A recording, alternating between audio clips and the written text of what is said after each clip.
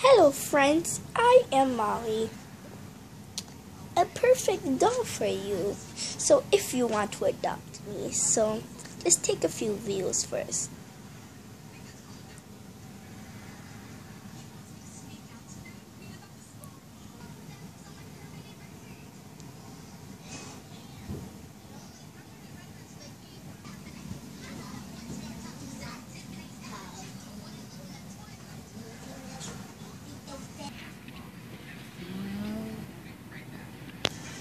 So, if you guys like this, please put a comment below.